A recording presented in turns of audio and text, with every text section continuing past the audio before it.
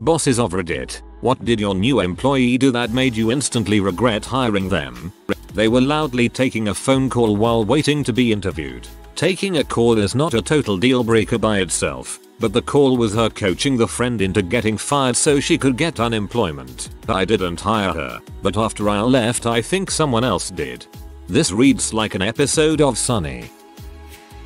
Couldn't figure out how to log into email with step-by-step directions on the first day. Needed step-by-step directions every day for everything on the computer. Midday 3. Did you double click Outlook icon? Him. Oh yeah. Now what do I do? Me. Type in your password. Him. What's my password? Me. You picked your password the first day. That's why it's called a password. Only you know it. Him. Oh yeah. Proceeds to sit there for 15 minutes doing nothing because he doesn't know his password. I'm usually pretty gentle when I fire someone. He wanted to argue he was computer literate during his termination meeting. You keep using that word.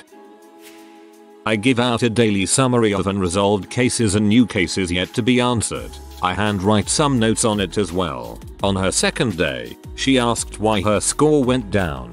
Confused, I asked her what she meant. Yesterday I got a 10 stroke 12 but today only 10 stroke 13. The date. I mean, at least she knows fractions and understands 10 stroke 12 is greater than 10 stroke 13. And like a good amount of America, which apparently believes 1 stroke 4 is greater than 1 stroke 3.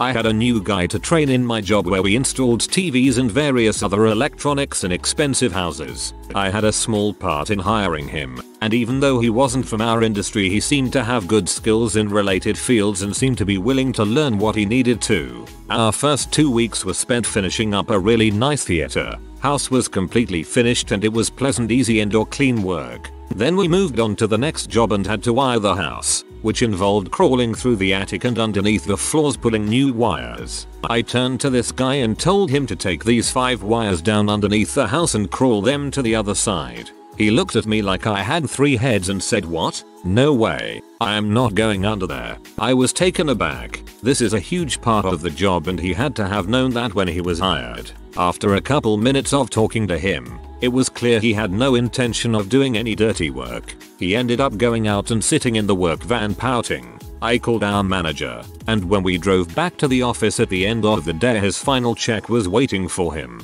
He was completely stunned, and got really upset, trying to blame me as his trainer for setting him up and making him do stuff that no one would ever want to do. I didn't get to see the final encounter myself, but it became the talk of the company for a while. Apparently he never managed to get it through his head that we all had to do that type of work and I wasn't singling him out. He blamed me and the company for him losing his job all the way out the door. Apparently he also tried lying to the unemployment office and got shut down hard when my manager explained why he was let go and he corroborated it, still assuming that we were in the wrong for asking him to do that type of work. To be fair, retrofits are the worst downloaded and stole all of our email company info and prices and took them to the competitor. We sued the crap out of him and won, though. That's a very very dumb thing to do. Not a boss but, guy got hired as my swamper. I used to deliver cabinets in a 1 ton truck throughout the area. Boss says, got a good for you. He's big and strong. Seems nice. What a great change from the scrawny 18 year olds he was usually hiring to help me. That would work for 3 days and quit because it was too physically demanding. He starts, first hour, we are driving to the site. He's bragging about the M he did last night. The girls that he got to kiss him at the club. He's married with a toddler. Second hour, at site. He's asking if I can pick him up for work every day. If he gives me 25 bucks a week, was fair. He didn't live far from the shop.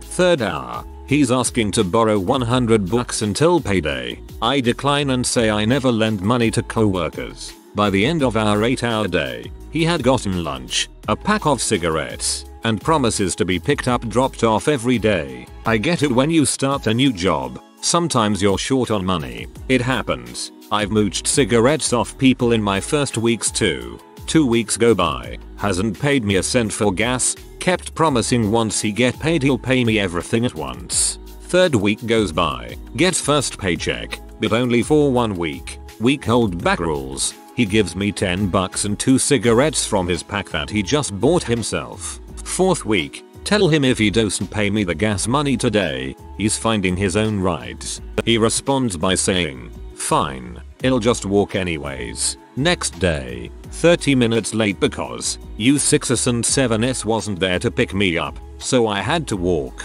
I tell boss to fire this frickhead. He does, I've been here for a while at this point. He needs me to be happy. Guy comes to me saying, I hope you know you're taking food off of my toddler's plate. Just some food for thought. I tell him to go frick himself. Run into him and his wife a couple months later. Comes to me, hands me 100 bucks cash, says, sorry for how I acted. I was high on coke for most of that. You think you can get me a job again?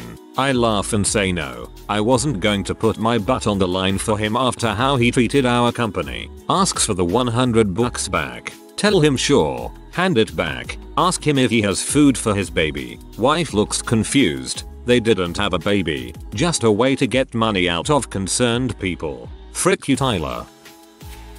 A friend of mine works at a construction recruitment agency and recently told me a great story. His colleague got a phone call in the office from a client, the foreman of a large construction site, who immediately began to scream at him to come to the site and collect a laborer from the agency who was on his first day working there. It transpired that this young, Shavy Temp had left the tracked excavator he was supposed to be operating to find the foreman and demand the socket set to remove the excavator's seat, as he dropped his phone under it and couldn't reach it. The foreman told him to frick off and get back to work, and that he could try to retrieve his phone at the end of the day once he was off the clock. Phones weren't allowed on site anyway. After a shouting match, the laborer stormed off climbed into the neighboring excavator and used its bucket to rip the cab off his machine to get to his phone. Needless to say, the agency took him off its books. Best story here. What's the company policy on fighting he was totally serious too. When told he can't, he asked what about in the parking lot. I have a feeling he will show up in our I am for Ribidus.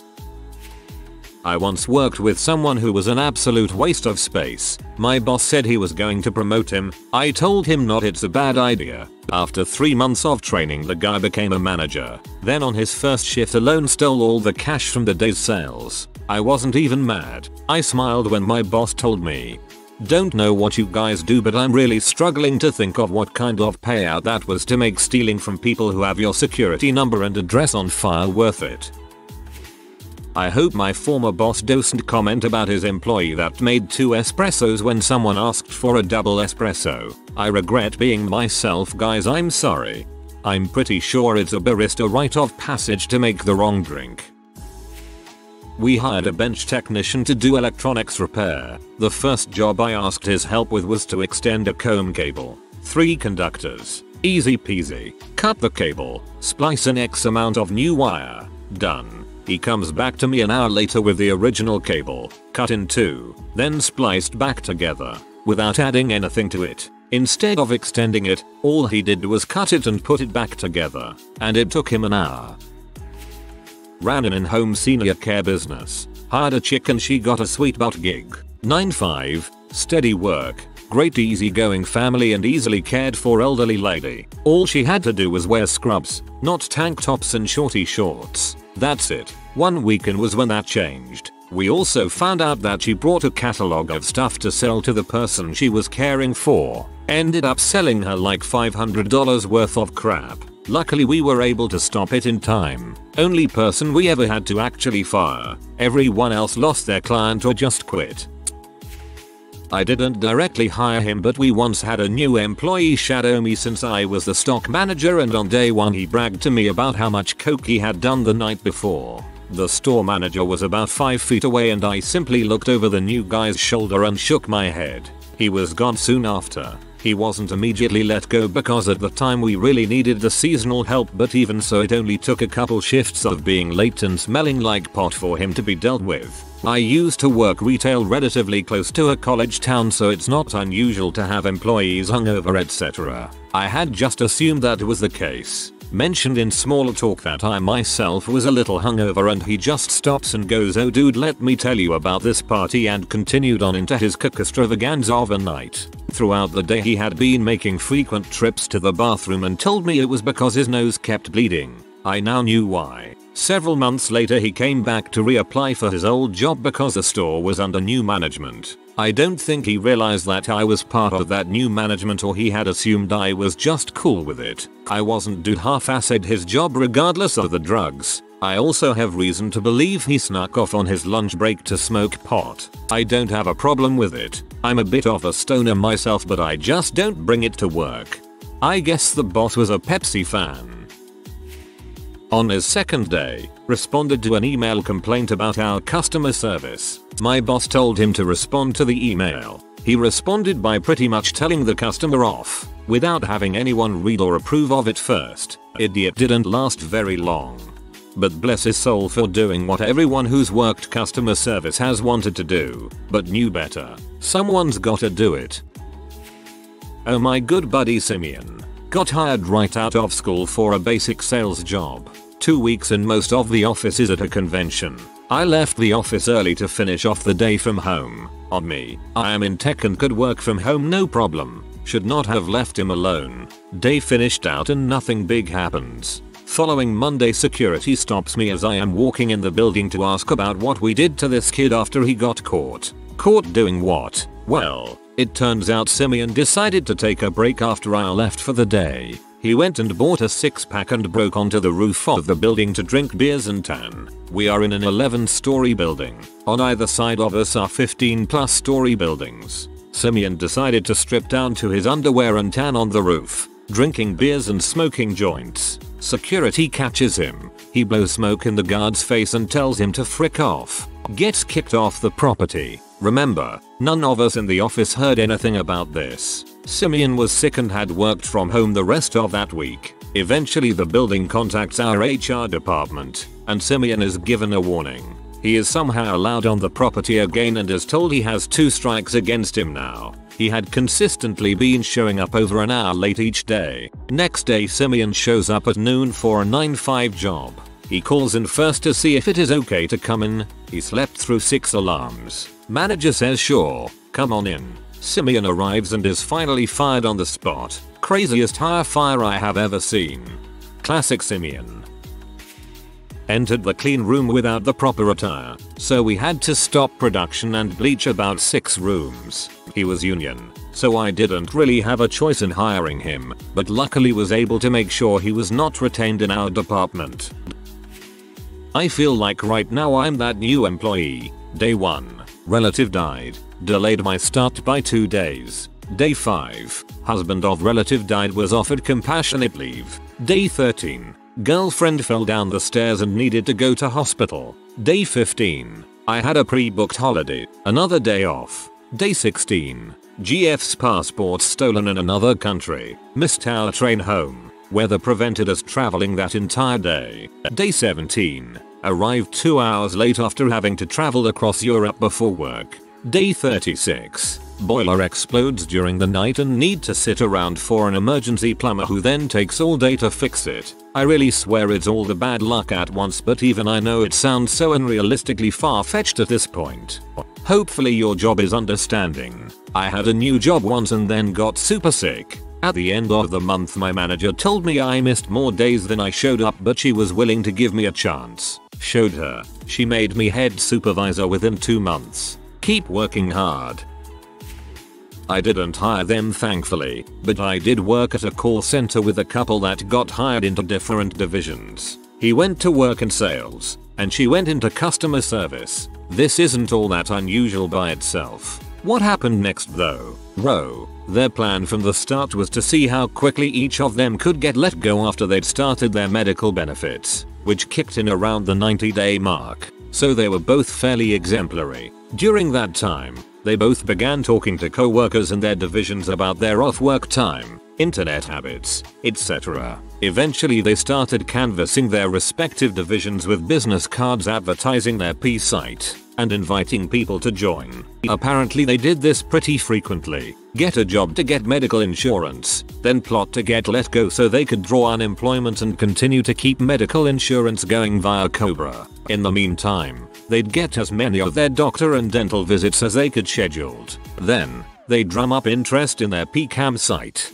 because by then they'd have gotten to know a ton of people. And who doesn't want to see the hot girl guy at the office having sex? They were both very attractive. Even the managers involved in this clusterfuck of a plan had to admit that the angles on all this were exceptionally slick. And because Phoenix is rife with call centers, they were able to work their way up and down a certain area of town without any of the respective businesses becoming the wiser. This is a movie I'd watch. He antagonized every single female coworker. It was like his only way of communicating with anybody of the opposite sex was to be demeaning and constantly using facetious tones to undermine them. Luckily, these weren't the reserved gals he was used to at his private college. He learned this the hard way after making a joke about one of the senior members' lunch being too small and to eat a sandwich. She barked back and he did not return the next day. Kudos to the lady in question asked me permission to use the bathroom every time. In spite of my protestations that he was an adult who I trusted to make his own decisions about going to the lav. He also sent me a weekly spreadsheet of all his breaks, potty and otherwise, lunches, and arrival and departure times. This is in no way required or the norm in our workplace. Finally, after multiple pleas from me he stopped doing that. He was very smart and very skilled, but this was the first indication that he would otherwise be a lot of work. Sounds like he came from a home or former job that micromanaged far too much. I hired someone for a moving company I was with 7 years ago, based near Milwaukee, WI. On his first day he was supposed to take the company car and drive to Madison, WI. He didn't show up. Fired him on the way to his job. I bet your company sees a lot of turnover. Started asking me for advice about men. Not just a little, I'm talking detailed advice. Like, I text him this and he text me that. What does he mean by that? Should I text him back? Do you think he's done with me? Sadly, said employee is not nearly as young as you might guess. Recently divorced after being married for a long time from a very young age is my guess. Worked at a small catering company in college. Got a friend a job bartending at a small wedding. Friend is excited and I'm surprised to find he's a no call no show the next day. I call him to ask why he isn't in and in slurred speech goes, oh crap. Our fraternity was hosting the Olympics at the house and forgot. I'm pretty drunk but I'll be over in 10. He hung up before I could object and I decided I'm not the best judge of character. Obligatory not me, but this bloke shows up on his first day. The foreman has a picture on his phone of a girl he's showing the guys. New guy proceeds, in graphic detail, to say what he'd like to do to the girl. The girl was the foreman's 13 year old daughter. He was summarily dismissed. For context, it was a pic of her holding up a fish she'd caught. Lucky he didn't get put in a casket. I had an employee that slept overnight in the office as he had a fight with his girlfriend, and then he used the fuel card from the company car for going to locations to fix IT equipment, to fill petrol cans, apparently for personal use. I wasn't the one who hired him, but he reports to me. So 3 days after he started working, he sends out an email to a very important client, and his signature has my position. Needless to say he got into deep crap with management.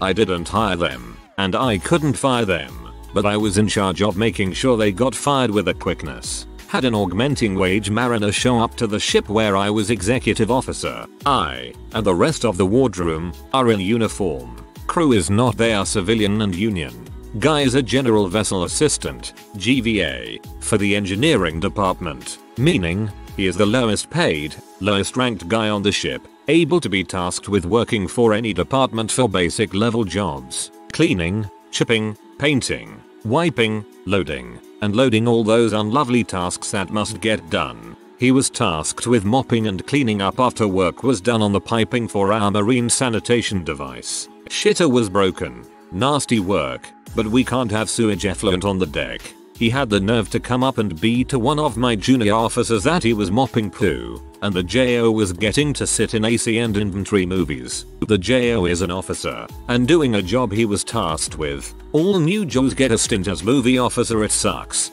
because you are in charge of several hundred movies, all tightly controlled because of copyright issues. and doing a good job of it so I didn't have to worry about it. And this guy, who was prior service Navy, had the chutzpah to come up and complain he was making overtime. $18 HR. For cleaning crap. I know people who would line up to get full bennies and make $18 HR for whatever I told them to mop. The guy was a shit show. He legitimately wondered why we weren't using him as a ship's photographer, because apparently that was his naval background. Well, Skippy, that's because the job description is really very plainly laid out. You sail on a ship and maintain the ship. That's specifically what you were hired for. A dirty birdie who'd leave the head, bathroom, a wet, unflushed mess. He drove roommates to distraction. He even refused to use ship's linen, provided, and slept in oily work gear on the bare mattress. Ugh. I went through heck making the purchase order for those new mattresses and you're going to put your rank butt engine room coated self directly on it? Fortunately, he was on a probationary period. I documented everything and let the folks running our augmenting pool know he was a safety disaster waiting to happen. My regret was thankfully never repeated as they took the hint and let him pursue other avenues of employment. On his first week, he won a prepaid credit card for performance sales job. Hours after I personally had given him the gift card, one of my managers advises me that he's been smearing his fesses and drawing swastikas with them in the men's washroom. I terminated him. Awkward to say the least. Before it's asked, we had cameras outside the public washrooms that allowed us to identify the person doing it.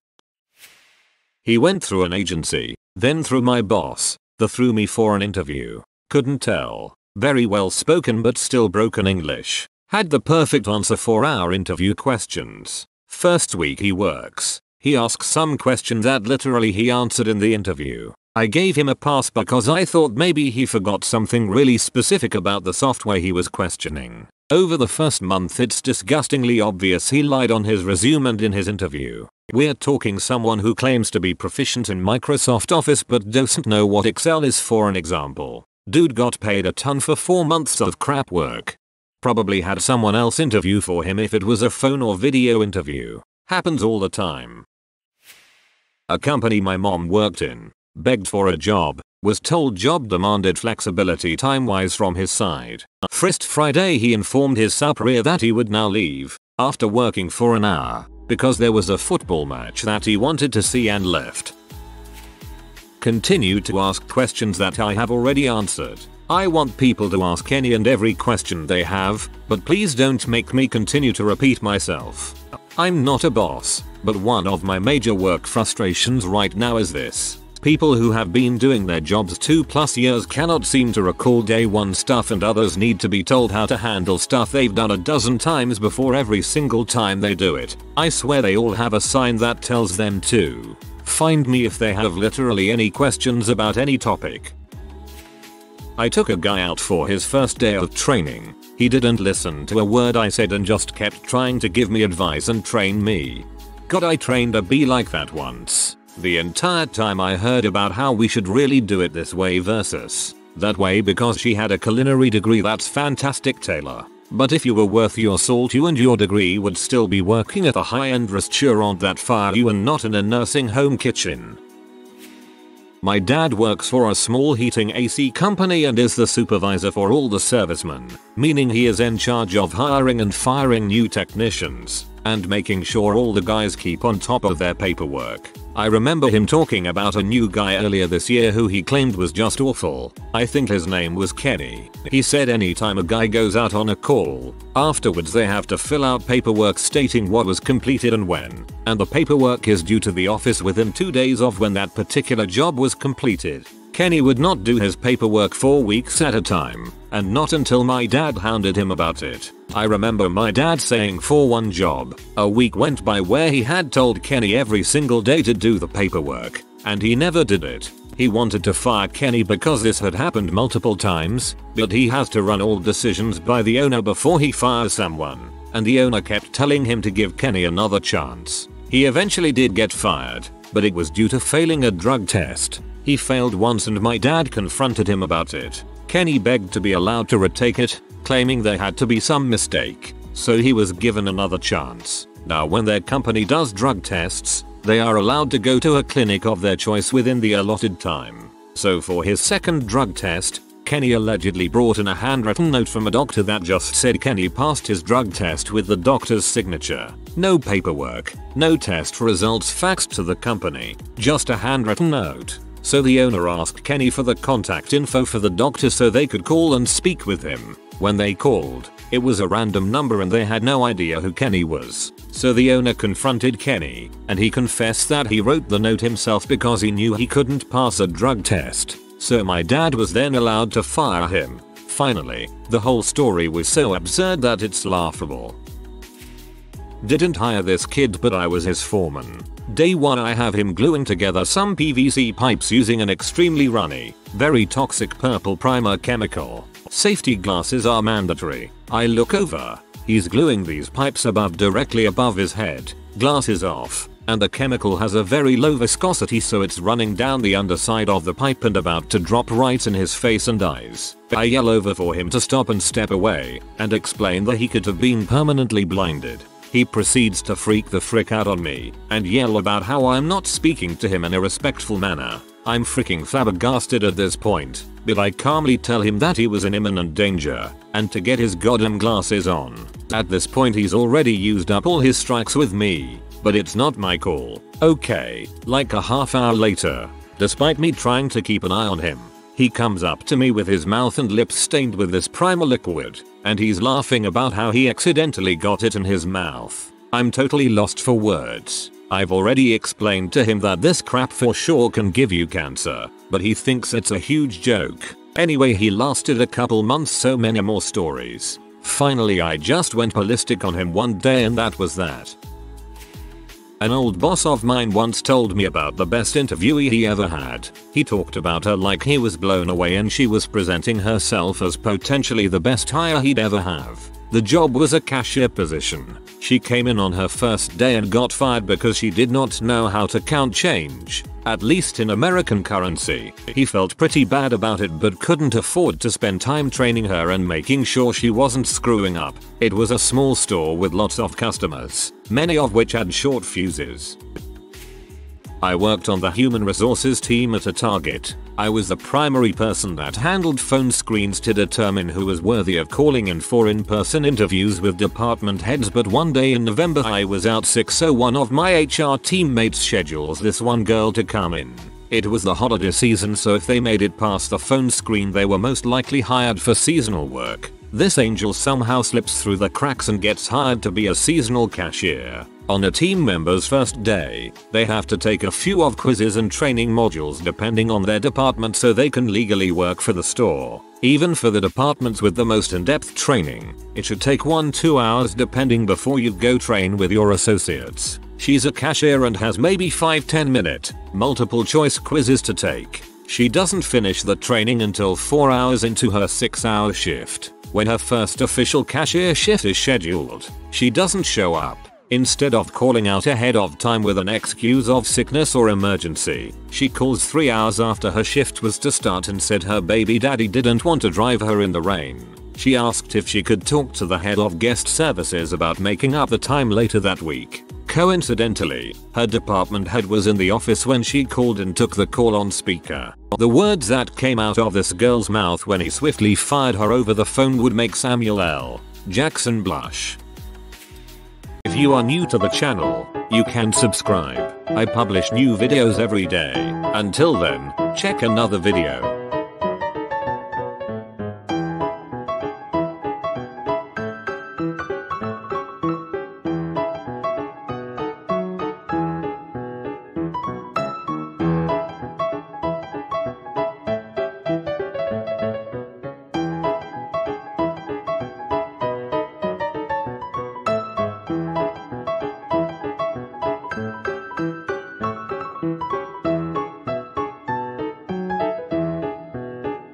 Bye for now.